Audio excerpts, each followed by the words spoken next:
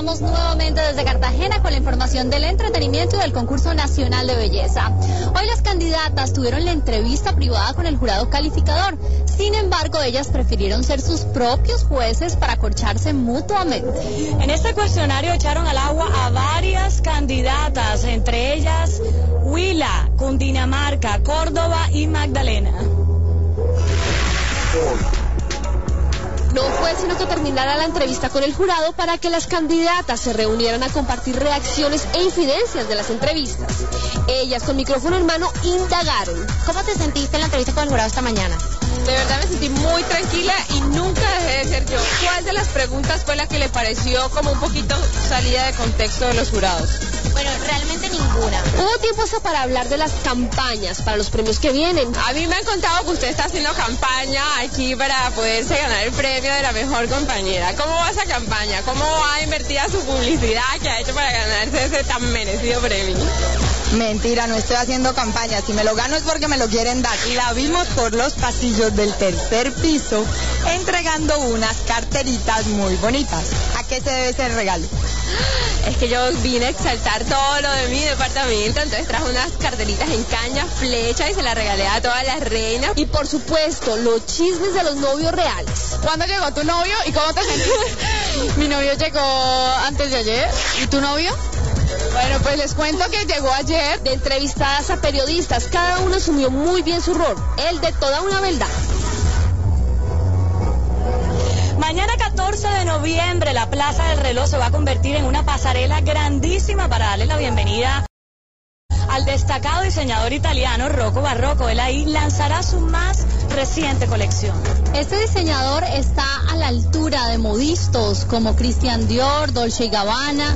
Presentará por primera vez su colección en Latinoamérica y está llamada Cerata Europea. Es un homenaje a la sensualidad y feminidad de la mujer actual.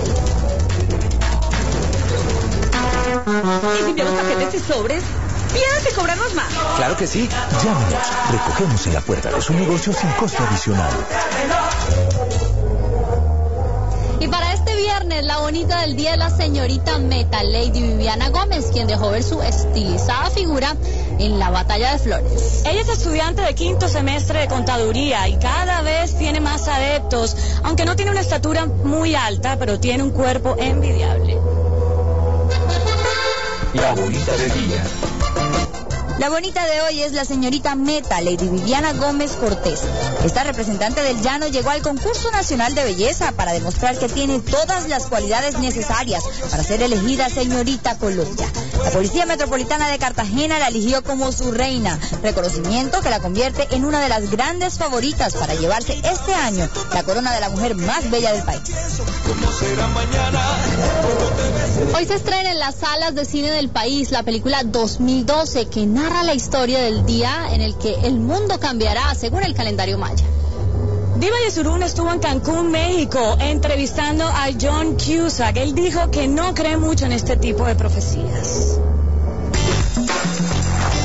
Cine. Cuídense, el fin del mundo está cerca. Así lo vaticina la profecía basada en las estadísticas del calendario maya. Se prevé que grandes terremotos sucederán a lo largo y ancho del planeta Tierra. Las placas tectónicas se desestabilizarán. Los volcanes tendrán erupciones ilimitadas. Norteamérica quedará bajo cenizas. Lo mismo ocurrirá con las capitales mundiales. O por lo menos, esto es lo que plantea la película de ciencia ficción 2002. ¿Cree que algo de esta historia puede ser cierto? Para nada, esto es imposible de predecir.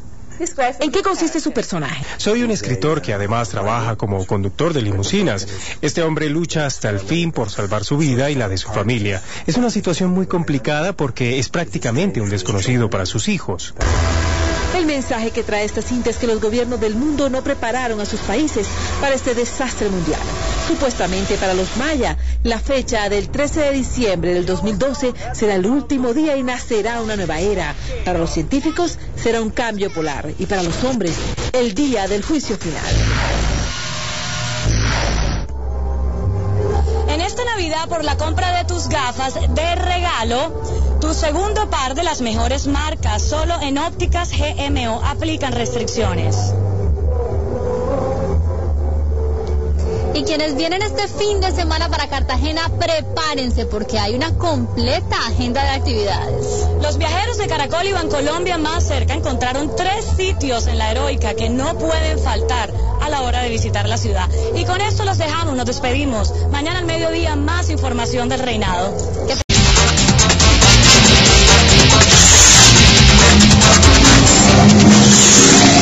Hola, muy buenas noches a todos ustedes. Pues con la Calamarí Big Band los saludamos en el Hotel Sofitel Santa Clara, donde hoy se vivirá la fiesta con más estilo del país, la fiesta de la revista Caras.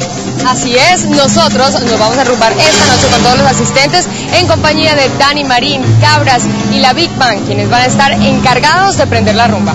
Pero mientras empieza esta fiesta, vamos con noticias del reinado y les cuento por qué los periodistas que asistieron aquí al festival, al Reinado Nacional de la Belleza, comparan a Sandra Borda Caldas con la actual señorita Bolívar. Y que hace 25 años Sandra fue la reina. Sandra Borda Caldas fue coronada como la mujer más bella de los colombianos hace 25 años por su prima Susana Caldas, señorita Colombia 1983. Cariño es inmenso y siempre es reina Sandra, entonces la gente es muy familiar. Esta verdad se quedó en el corazón de los colombianos y ahora la comparan con la señorita Bolívar, fuerte favorita para llevarse la corona este año en Cartagena. Todo el mundo dice, por la estatura, la gente trata como que de buscar ese parecido pero bueno, soy muy, muy amiga de la familia de Natalia. Además de ser una niña dulce, linda, es una niña que, que, que proyecta mucho, eh, tiene mucha presencia en el escenario. ¿Será que Bolívar recupera el título para su departamento? La última corona de Bolívar la tuve yo hace 25 años. Y pienso que Natalia es una niña muy completa que reúne todas las condiciones. Vamos a ver qué piensa el jurado. Dos mujeres similares en belleza y territorio. El próximo lunes sabremos si ganará Natalia Navarro. Sabrosa música colombiana.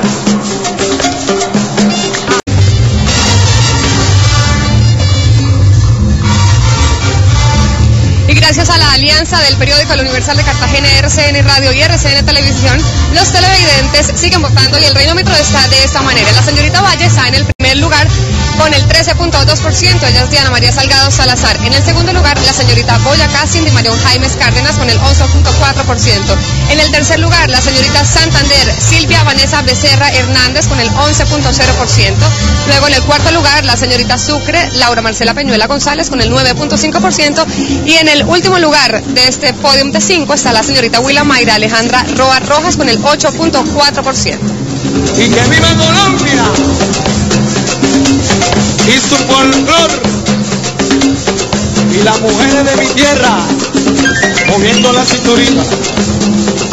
Y como siempre nosotros aquí en Noticias RCN les tenemos toda la información acerca de las bellas, de las 24 candidatas al concurso nacional de belleza y hoy es el turno de la señorita Norte de Santander, ella es Ana Ivonne Ortega. Familiares y allegados a Karen Ortega Cuervo ven a la señorita Norte de Santander como una firme aspirante para traer este año la corona de señorita Colombia. Siempre le he dicho que Dios le dio los mejores regalos del cielo. La forma de ser de Karen y su espontaneidad también resaltarán en el concurso de Cartagena. Persona que la ve por primera vez la quiere. Le... Esta estudiante de cuarto semestre de Contaduría Pública desde los 10 años mostró sus aptitudes en pasarela y los reinados es cae bien. La cucuteña de 20 años y sus familiares esperan la hora del concurso para demostrar que en el 2009 será la mejor representación de Norte de Santander en Cartagena. Y definitivamente nosotros vamos por ti Colombia y llegamos aquí por ti Cartagena. La tarima RCN ha sido todo un éxito en la heroica. Más de 20 artistas sobre tarima, muy reconocidos todos.